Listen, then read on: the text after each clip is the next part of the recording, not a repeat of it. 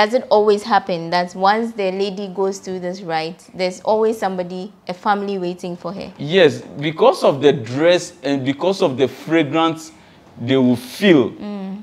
you may, you, they will come more than thousands.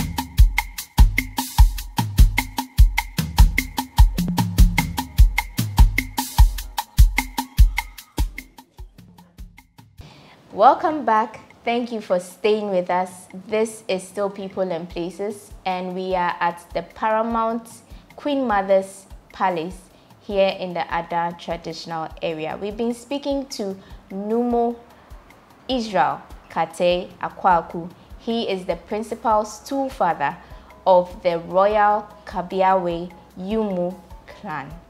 And he's been telling us a lot. He told us about who the people of Ada are, their migration story, and a little bit about their culture. But there's more to learn, so we are speaking to another person.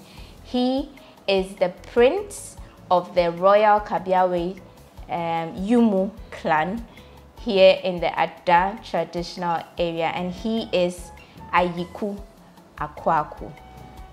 Thank you for speaking to us. Thank you too. Okay, so I'd like to start with the matri- the the inheritance system of the Adans. Can you take us through which kind of inheritance system do you use? Matrilineal, patrilineal? Ka yɔ ke wa yɔ tse ni ŋe adan.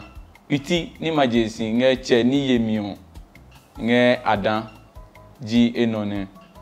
So he is speaking the, their local dialect, which is the Dangbe language, and he took us through what kind of inheritance system they use. I understood just a little bit of that. If I'm not wrong, he was saying that the Adan people inherit from the father side. They are patrilineal. And I'm sure you read everything he said um, in the subheadings down there. So we'll continue. We are talking about marriage now. Being a hybrid group of people, how does marriage work here? Do you do you like to marry from the other groups that have joined, for instance, those with Akan names, those with Ewe names, or Dangbes like to marry Dangbes, Ewes like to marry Ewes, Akans like to marry Akans? We have only Adan have ten clan, mm. and we have specific clan which is Adibiawe, have a link mm. with Kabiawes. Originally, the the chiefs they believe that as we, the Kabiawes are warriors, if they marry in Adibia as a first clan in Adan, they will give birth to uh, all the warriors or the brave men. So we have that, Kabiawes have that link, and it's a tradition inherited by our forefathers. It's the only Kabiawe, but out of the remaining clan, you are free to marry anywhere. Okay. So the only exception is Kabiawes not marrying Adibiawes. No, Kabiawes, Love, Love to, marry, marry Adibiawes. Adibiawes. Okay. yes, okay. to give birth to a, a, a chiefs or a royal. Okay. So aside that, all other clans intermarry. Yeah, there are no any there are no any specialities. Yeah. Okay. Now moving from marriage, let's go to naming because when you marry, it's expected that children come in as and when they are gifted. So the naming system here in Ada, what is it like? Naming system in Adan, we have female and male. Let's say Adibiawe, as I will name the 10 clans names. Uh, Adibiawe, we have Adi as a, a male child. We have Adiki as a female. And we have Bue, Buete as a male, we have Buekin as a female. We come to Lomobiawe, we have Lomo as a male, we have Oge as a female, and we have Lomoki as a female. We have uh, Ngonglo as a male. Okay. We come to Tekwebiawe. Uh, I'll jump to Adi- uh, Lomobiawe back. You see, Lomobiawe have a connection with Tekwebiawe. So Tekwebiawe as a uh, clan don't name their firstborn, but Lomobiawe names their firstborn male child Tekwe. But Tekwebiawe, you have name like Kole as male, uh, Kolekin as female. Okay. And but this, sorry to hold you, but Yeah. this tekpe Yeah. that you're talking about, is it the same tekpe we have in the Ewe? The Ewe ones is Tekpe, Okay. and this one is Tekpe. Okay. Ah, Okay. in Krobo. Right. Is Krobo is the same. Okay. Yeah. Okay. And we have Lo- uh, Dangbe Biawe. Dangbe Biawe, we have Olengete as a female, but today they have been brothalizing or they have been calling the name as uh, Olete Olete, but the thing is Olengete Okay. as a female. We have Olengeki and as a Olengeki as a female. We have Agbashi as a male. We have Bagbe as a female. Okay. So you come to Kabia where all the three Kabiawes have similar names, but specific Kabia Yumu have specific names. So I'll start from Kabia Yumu. Kabia Yumu, we have the oldest name among the three Kabia, is called Ayiku.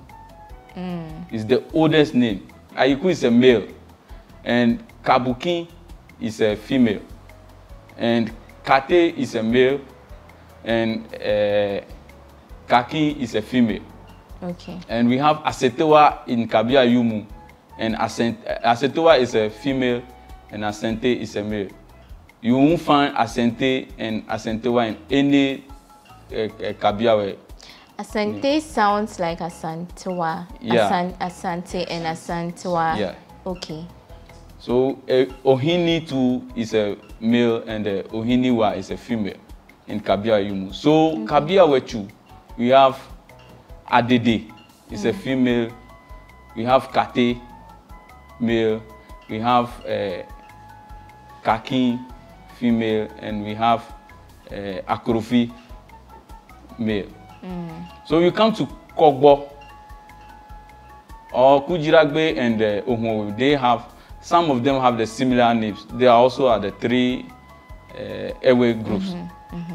So we have Kise, in Kogbo we have Kise as a male, we have Mane as female, and we have Agude as male, and we have uh, Awudu or Mande as a female. So you come to Kujiragbe. Kujiragbe to have uh, Chachu as a female. We have uh, Ogbo as female. So you come to Ohunwem, to Kujiragbe and Ohunwem, have a similar names. Ofwechu is a male. We have uh, Ogbo, a female. We have Saki, a female, and we have Sakibia. We have Saki, A a, a male. male, and we have Sakibia, A female. female, So okay. that joined our Dan names out of the ten clans. Okay. That's interesting. Yeah. But is it is it possible that I mean every clan and its name, but is it possible that I can be in um, maybe Kudragbe and decide to name my child with a prefix from another clan? Yes, and then we have something called Nyekobi Chekobi. And Nyekobi Chekobi means your aunties and your uncle's daughter, children. Sometimes your great grandfather or your great grandmother have done something to a, a, a specific clan. They can decide to name your grandfather's name in a different clan. Let's say if Lomobia have done something to Kabia Yumu, Kabia Yumu can decide to name somebody Lomo.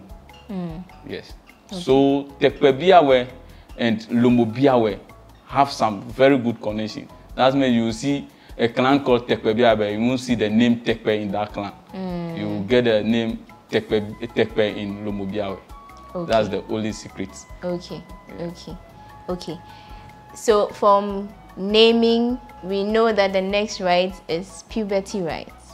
Yeah. Do Dangmes or do the other people um, celebrate or mark or go through the Krobo, the Dipo rites like the Krobos or the other Dangme groups do? Yes, all the clans in Adan, they have some specific clans who have a similar things or similar uh, purification before getting to marriage. Mm. Especially Tekwebiawe like this have 13 gates. And one of the gates called uh, Sega, mm. they have a similar depot.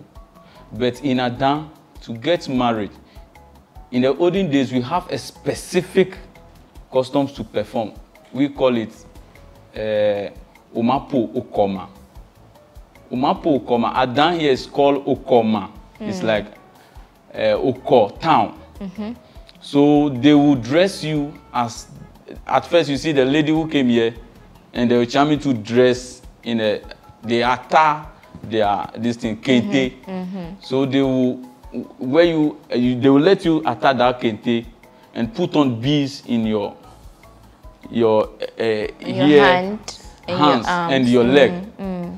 So if you are ready for marriage, they will dress you and put on different type of soaps and lavender powder and mm, things. Mm. So they will let you, you'll be changing, you'll be going around telling the men or telling the people in the town ready. Okay.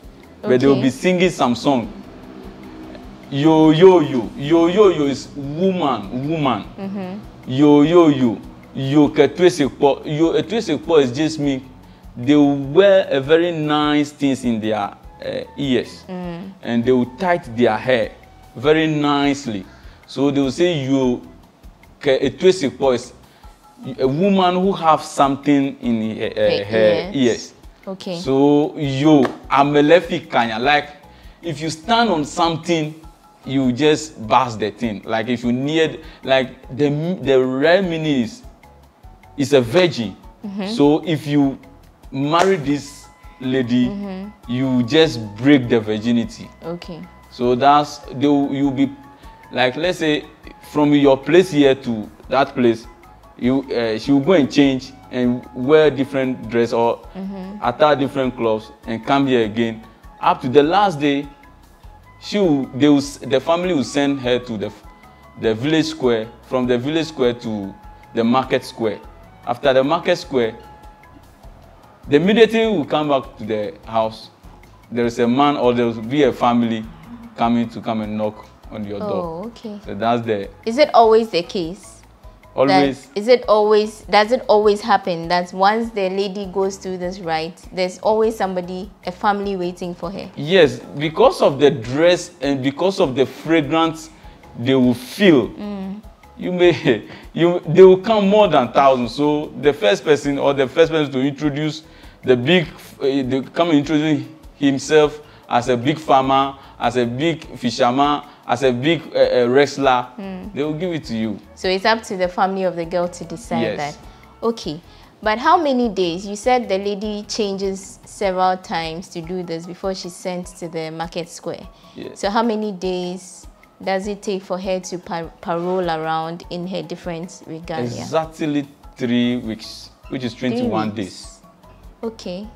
So for every day within the three weeks, she's she's changing and yes. she's going around. So they will handle that lady or they will hold in high esteem. Okay. She won't do anything. She she uh, her friends, her sisters will be helping her. Hmm. Uh -huh. So teaching her, teaching her, how to cook, how to do everything. You are not going to your husband's place. Mm. So those things are today, they will say counseling. Okay. Counseling that time is if you go to the town and come back, they will just tell you you see this man you see the chest of this man. This man can even destroy you. Or this man can do this. This man is a lazy. Mm. they will teach you all those things okay. for you to be prepared to go to your husband's place. Okay right. Yeah. so at which age does this start? The puberty rights for at any first, girl.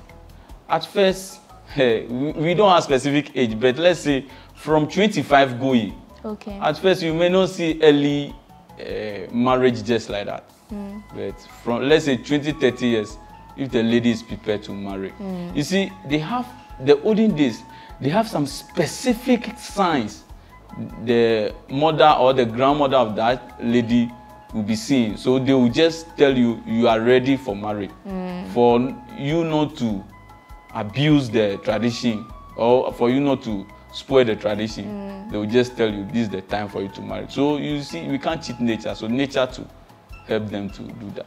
Okay.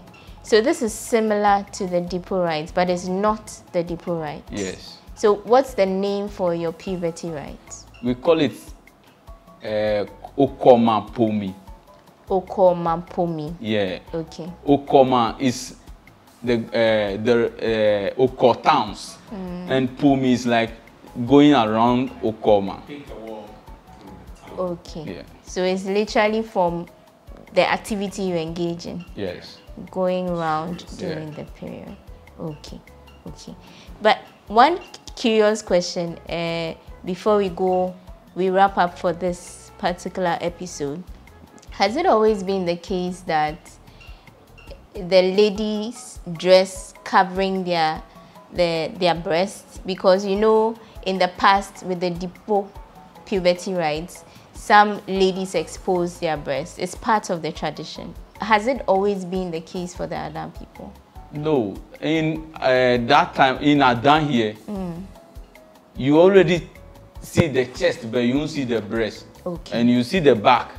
And you see the, the last one is the... Uh, the knee.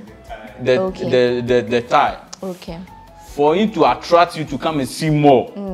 That's why. And they will, if the lady don't have back, like they have something called pongo. They will dress your bag. They will put something in your bag. Okay, clothes. Your bag will be very. A little. Uh -huh. Okay. Yeah. Okay. Right. Thank you so much, Ayiku, yeah. for speaking to us. He, like I said, he's the uh, prince of the royal Kabieweyumu clan and he has been telling, he's been educating us a little bit more about the culture of the Ada people. Earlier we heard from Numo, Israel Kate, Akwaku. And so that's how we wrap up this episode of People and Places on GhanaWeb TV. You know how we do it with this history um, episodes. We are going to talk about a different, uh, we are going to look at a different topic in the next episode. So you don't want to miss us because this is a, a, very educative series. My name is Wanda Ami Edwasari. Thank you for staying with us. We'll see you next time.